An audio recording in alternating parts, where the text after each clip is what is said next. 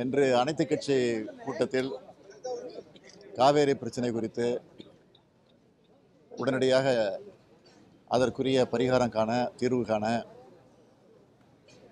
திராவிட முன்னேற்றக் கழகத்தின் சார்பில் தொடக்கத்திலேயே நான் என்னுடைய கருத்துக்களை எடுத்துச் சொல்லியிருக்கிறேன்.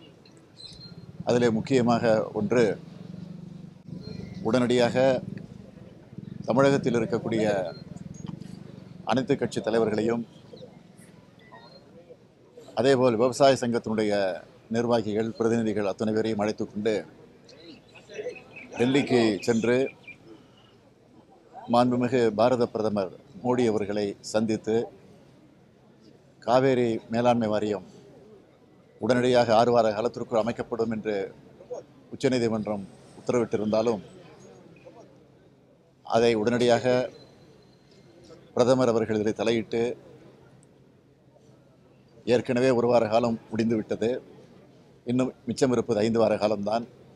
எனவே அதற்குள் அமைக்கின்ற முயற்சியில் ஈடுபட வேண்டும் என்று ஒரு தீர்மானம் போட வேண்டும் என்று முதலில் திராவிட முன்னேற்றக் கழகத்தின் சார்பில் என்னுடைய கருத்துக்களை நான் எடுத்து வைத்தேன்.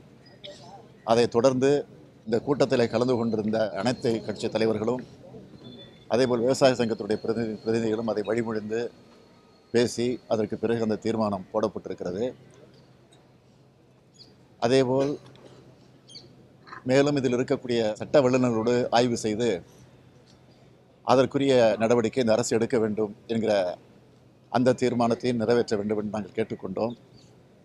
அதையும் அரசு ஏற்றுக்கொண்டு தீர்மானமாக நிறைவேற்றியிருப்பது வரவேற்கத்தக்கது என்பதை நான் தெரிவித்துக் கொள்கிறேன்.